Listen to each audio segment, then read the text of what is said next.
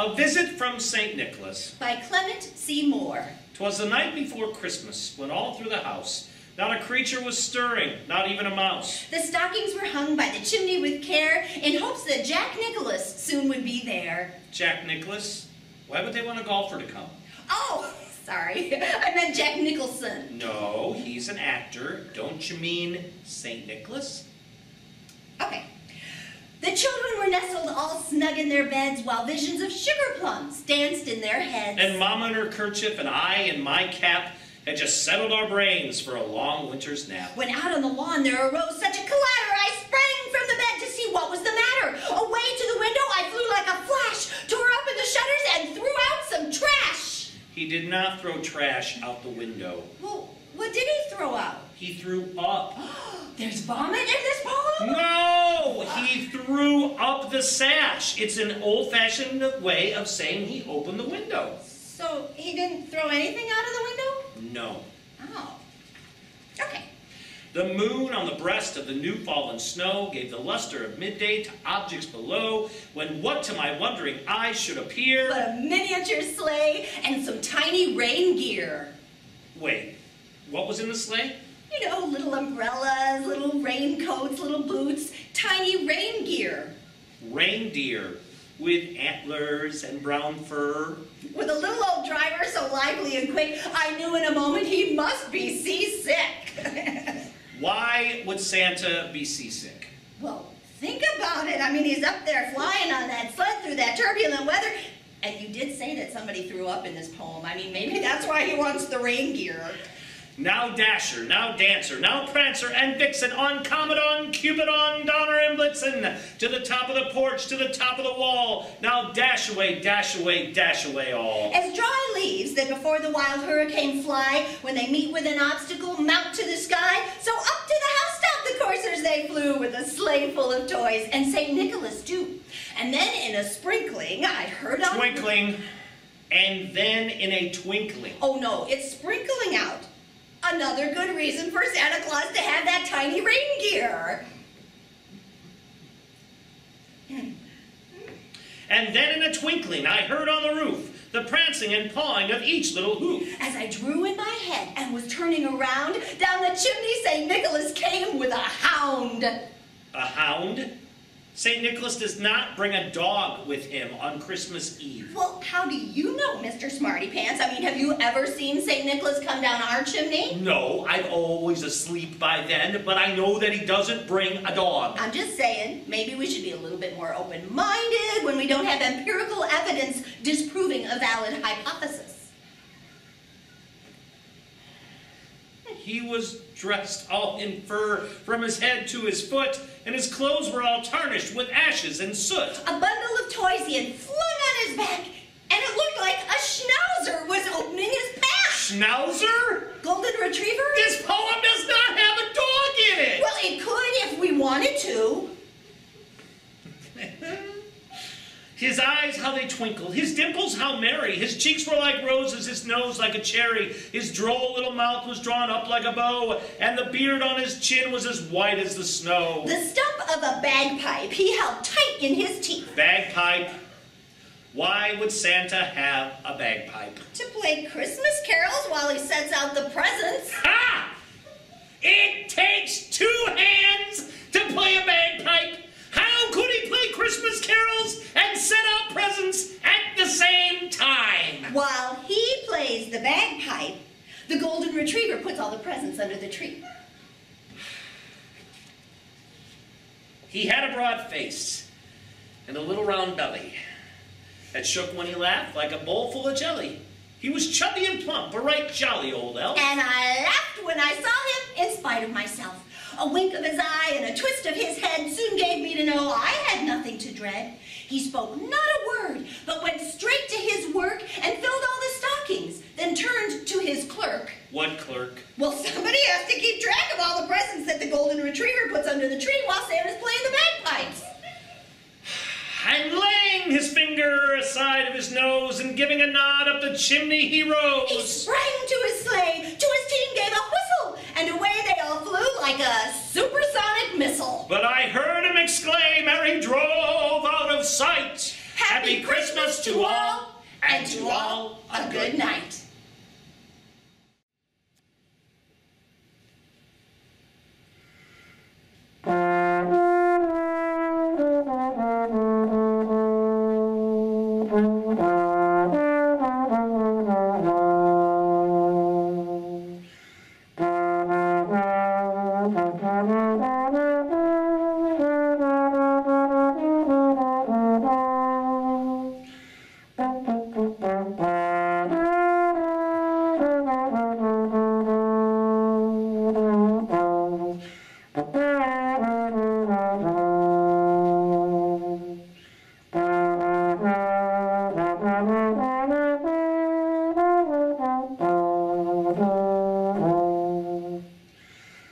Have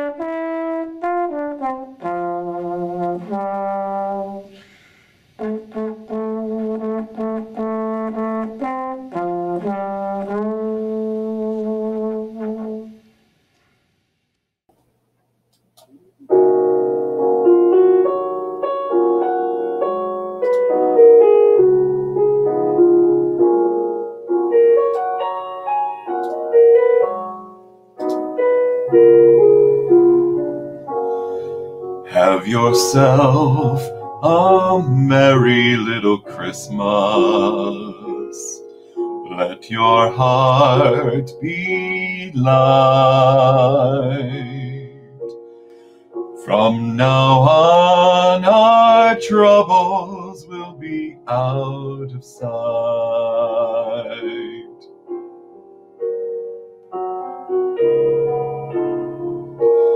Have yourself a merry little Christmas. Make the Yuletide gay. From now on, our troubles will be miles away.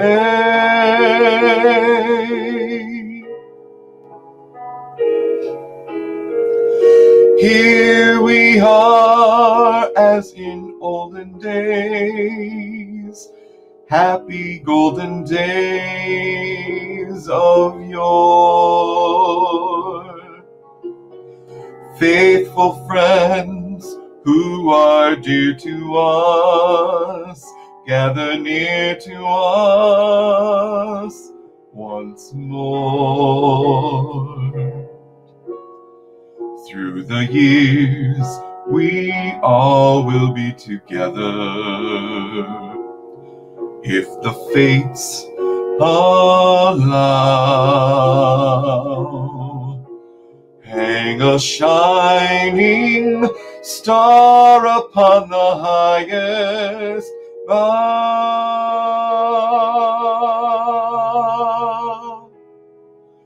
and have yourself a merry little Christmas now.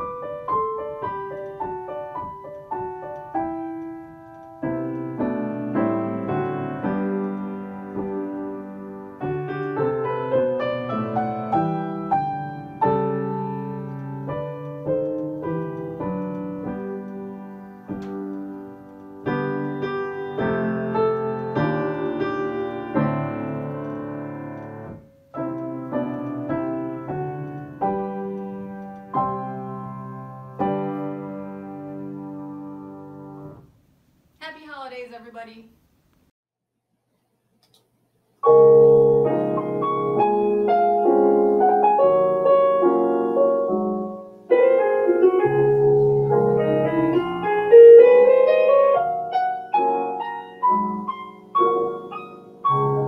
Chestnuts roasting on an open fire.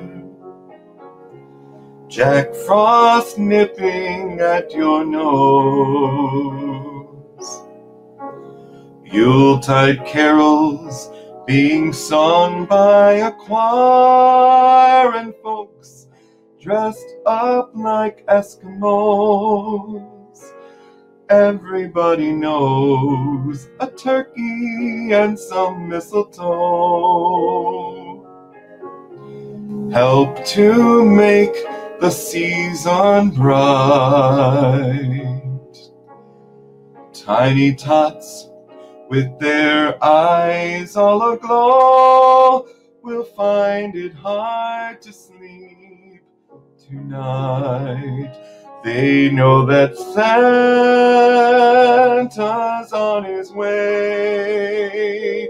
He's loaded lots of toys and goodies on his sleigh. And every mother's child is gonna spy to see if reindeer really know how to fly. And so I'm offering this simple phrase from kids from 1 to 92. Although it's been said many times, many ways, Merry Christmas to you.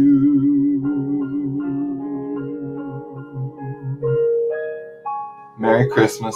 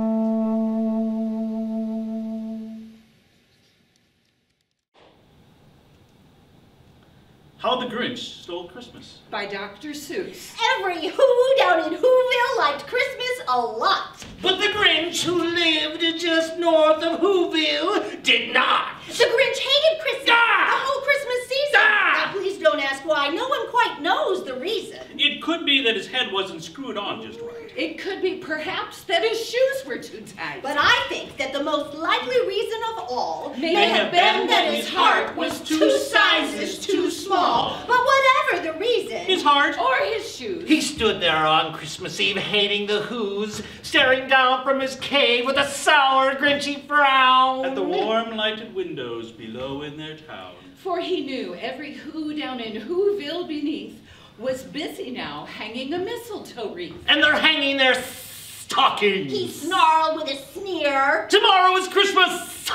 It's practically here. Then he growled, Ah! with his Grinch fingers nervously drumming. I must find some way to stop Christmas from coming. For tomorrow he knew all the Who girls and boys would break bright and early. They'd rush for their toys. And then, oh, the noise. oh, the noise. noise. Noise. That's the one thing he hated. The noise. Noise. Noise. Noise. Then the and old would sit down to a feast. And they'd feast. And they'd feast. And they'd feast. Feast. Feast. Feast. They would feast on who pudding. And rare who roast feast. Which was something the Grinch couldn't stand in the least. And then they do something he liked least of all. Every Who down in The tall. and the small. would stand close together with Christmas bells ringing.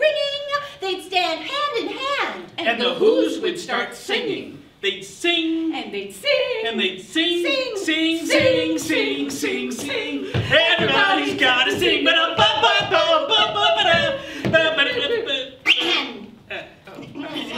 Sorry. Get it away here. Okay. And the more the Grinch thought of this Who Christmas Sing, the more the Grinch thought. I must stop this whole thing. Why, for 53 years I put up with it now. I must stop this Christmas from coming. But how? Then he got an idea. An awful idea. The Grinch got a wonderful, awful idea. I know just what to do. The. Grinch laughed in his throat. and he made a quick Santa Claus hat and a coat. And he chuckled and clucked. What a great Grinchy trick! With this coat and this hat, I look just like Saint Nick. All I need is a The reindeer. Grinch looked around. But since reindeer are scarce, there was none to be found. Did that stop the old Grinch? No! The Grinch simply said. If I can't find a reindeer, I'll make one instead. So he called his dog Max. Max! Then he took some red thread and he tied a big horn on the top of his head. Then he loaded some bags and some old empty sacks on a ramshackle sleigh and he hitched up old Max.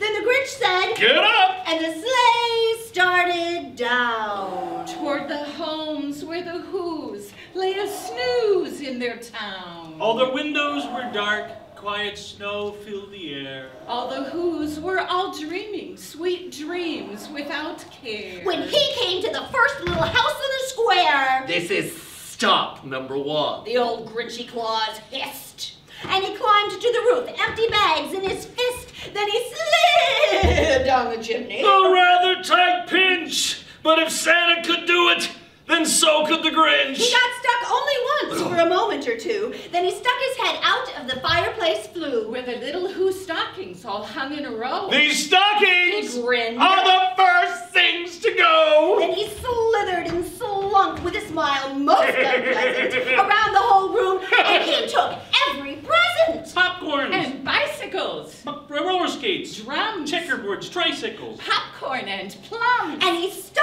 them in bags. Then the Grinch very nimbly stuffed all the bags one by one up the chimbley. Wait a second. Chimbley. Chimbley. It, it really says that. It That's says not a word. It says That is not a word.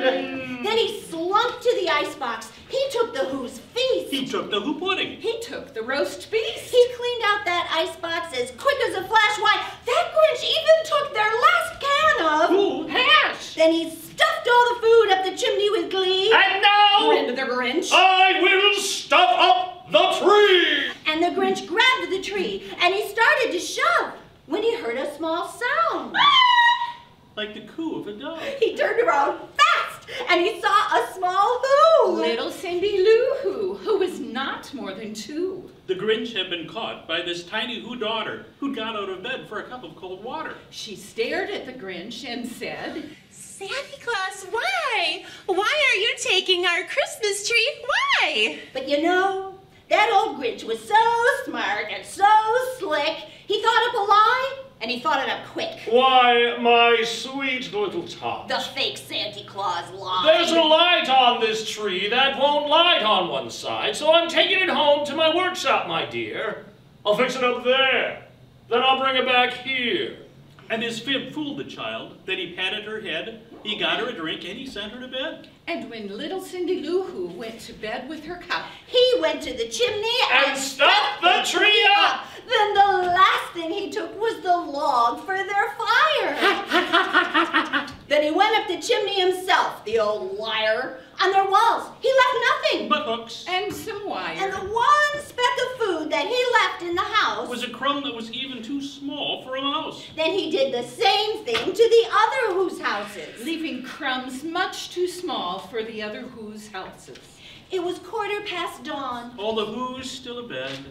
All the Who's still a snooze. when he packed up his sled. packed it up with their presents. The ribbons, the wrapping, the tags, even tinsel, the trimmings, the trappings. 3,000 feet up, up the side of Mount Crumpet, he rode with his load to the tip top to dump it. Pooh pooh to the who. He was grinchishly humming. They're finding out now that Christmas is coming. They're just waking up. I know just what to do. Their mouths will hang open a minute or two. Then the Who's down in Whoville will all cry, Boo! That's a noise. grinned the Grinch. that I simply must hear. So he paused, and the Grinch put his hand to his ear. And he did hear a sound rising over the snow. It started in low, Then it started to grow. but this sound wasn't said. Why, this sound sounded merry. It couldn't be so! It was Mary. Very. He stared down at Whoville. The Grinch popped his eyes. Then he shook. What he saw was... A shocking surprise! Every who down in Whoville the tall. and the small Was singing singing. without any presents at all. He hadn't stopped Christmas from coming. It came. Somehow or other, it came just the same. And the Grinch, with his Grinch feet ice cold in the snow, stood puzzling and puzzling. How could it be so? It came without ribbons, it came without tags, it came without packages, boxes, or bags. And he puzzled three hours, till his puzzler was sore. then the Grinch thought of something he hadn't before. Maybe Christmas He thought, doesn't come from a store. Maybe Christmas, perhaps, means a bit more. And what happens then? Well, in Whoville, they say. That the Grinch's small heart grew, grew three, sizes that day. day. And the minute his heart didn't feel quite so tight, he whizzed with his load through the bright morning light. And he brought back the toys! And the food! For the feast! And he, he himself, the Grinch carved the roast beast.